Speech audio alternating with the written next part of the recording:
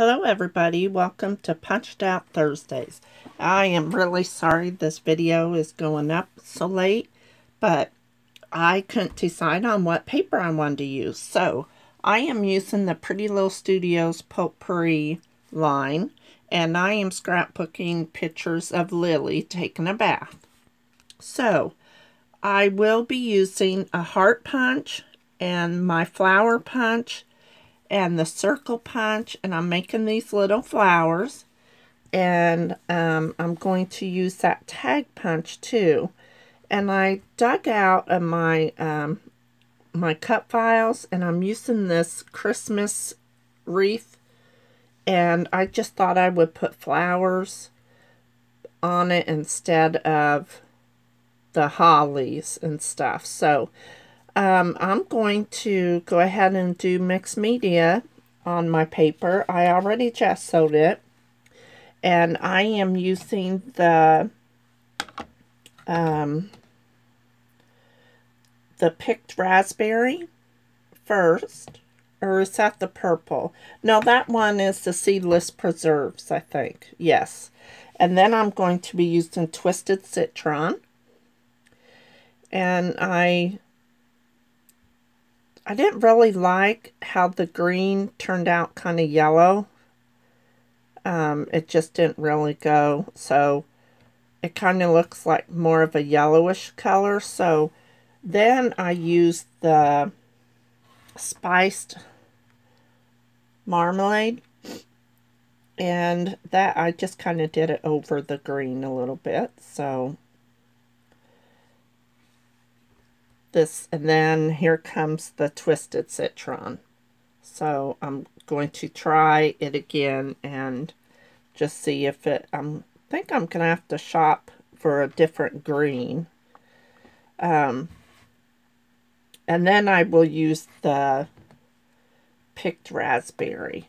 So I bring all those colors in because they are in those papers from Pretty Little Studio. So then I paused it and I punched out all of the stuff and I also pulled out the ephemera pack from Pretty Little Studio and I'm using the frog and the umbrella. And um, here I'm tearing the paper to give it kind of like a distressed look.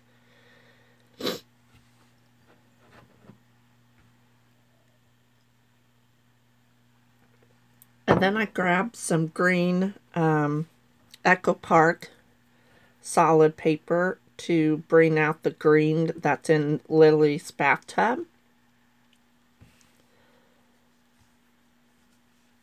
And then I glue this on and then um, I get all of the um, flowers. I go ahead and put all of them together and um, well, I guess I glue my uh, photos down first and then glue, find out where I'm going to put um, my photos first and then I will piece together the flowers.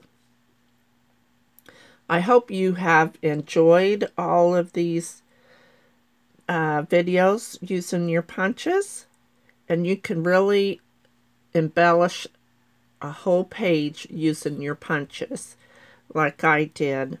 And I did fussy cut the leaves out just to give it some um, little dimension. So I want to use that tag to kind of tone down the mixed media. And then I um, punched out the hearts and I think I will put one in like a triangle.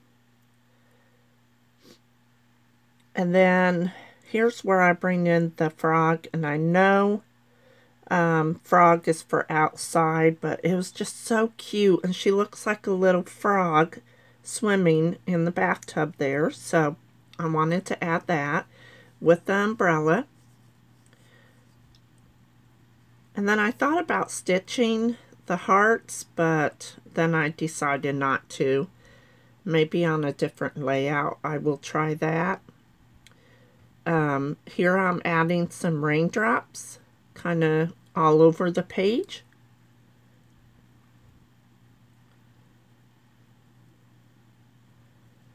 And I think um, after I get done gluing the raindrops, I uh, get out some twine and I put it in my tag. And okay, see, I forgot what I was doing. I am trying to find a title, and I love these from Pink Fresh from Joyful Day. And I was going to use Beautiful, but it just kind of, you couldn't hardly see it, and so I put that back and I go with Adore.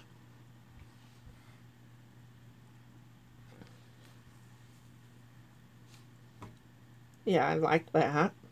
So my page is pretty busy all the way around with all of the punches. And then I stopped to put some twine in. I think that's the only black I have on my page except for those little circles that have little pieces of black. So, okay, and then I forgot and I want to use my tag punch. So I pulled this 3x4 card and it says new routine.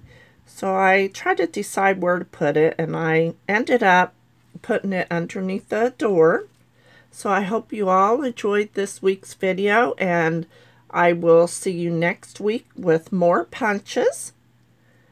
So you all have a wonderful day and thank you for watching and commenting. It really makes my day.